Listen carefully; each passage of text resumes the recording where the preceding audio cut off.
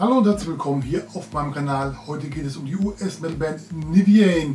Diese stammt aus Sacramento und die haben einen weltweiten Plattenvertrag bei Pure Steel Records unterschrieben. Die Band, die sich 2014 gründete, veröffentlichte ihr Debütalbum The Druid King 2017. Nun melden sie sich 2020 mit ihrem neuen Album mit dem Titel The Ruthless Divine zurück.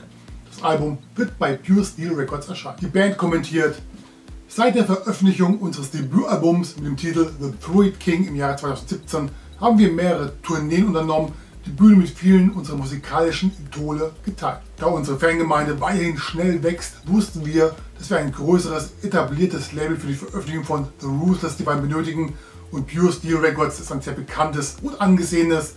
Deswegen freuen sich Niviane, mit ihnen zusammenzuarbeiten. Das war's auch schon wieder wenn es euch gefallen hat, dann lasst einen Daumen da, schreibt was in die Kommentare oder abonniert meinen Kanal. Bis zum nächsten Mal. Macht's gut.